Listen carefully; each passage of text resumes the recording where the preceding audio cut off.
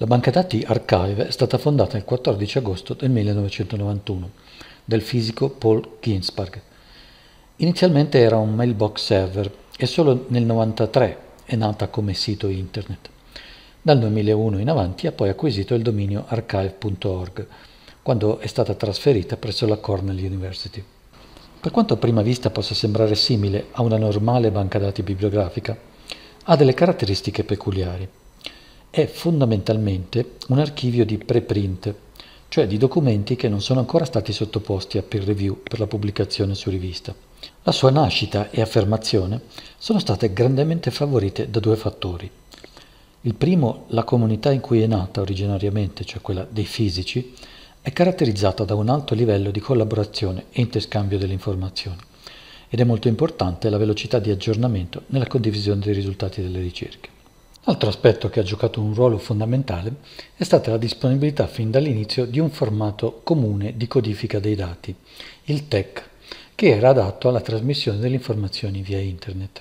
Il successo del progetto Archive ha fatto poi da alfiere negli anni alla nascita del movimento per l'open access, che oggi consideriamo come un modello acquisito, ma in realtà ha fatto molta fatica ad affermarsi. Ad oggi Archive contiene circa 2 milioni di record, ma il numero degli articoli caricati ogni mese aumenta secondo un tasso crescente, anche per effetto dell'aggiunta di nuovi ambiti disciplinari.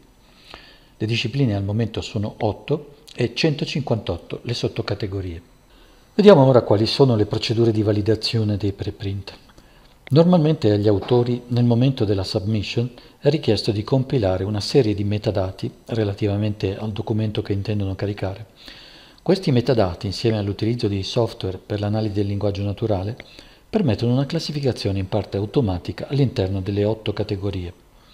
Una supervisione ulteriore, sia per quanto riguarda l'aspetto della classificazione, sia soprattutto per quanto riguarda i contenuti, è affidata ad un gruppo di circa 200 moderatori volontari. Questo processo di moderazione non è però assimilabile ad una vera peer review, perché non ne ha l'intento L'intenzione è quella di garantire uno standard scientifico di base e di valutare l'originalità e la pertinenza del contributo. Agli autori nuovi può essere richiesto un endorsement da parte di autori già riconosciuti che collaborano con la banca dati. La maggior parte dei preprint ottiene poi una pubblicazione anche su rivista, ma non è raro che rimangano solo su archive come testimonianza della ricerca fatta e contributo allo sviluppo della ricerca scientifica.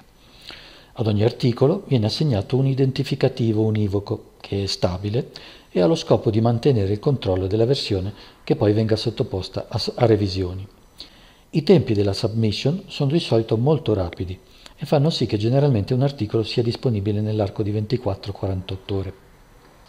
Veniamo ora agli aspetti caratteristici dell'interfaccia di Archive. Già dall'home page si può scorrere per disciplina e le discipline principali possono avere sottoclassi e suddivisioni anche più piccole. Ognuna di queste suddivisioni è caratterizzata da un'abbreviazione univoca. All'interno di ogni categoria principale o sottocategoria si può selezionare eh, tre link, New, Recent o Search, a seconda che si vogliano vedere gli articoli approvati per quel giorno o per la scorsa settimana o anche semplicemente cercare all'interno di quella categoria.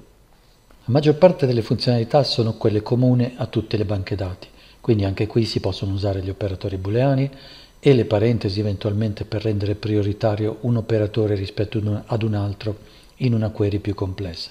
Anche qui l'asterisco funziona per troncare un termine, anche se lo stemming, cioè la ricerca delle diverse terminazioni di una parola, in alcuni campi è una funzione automatica.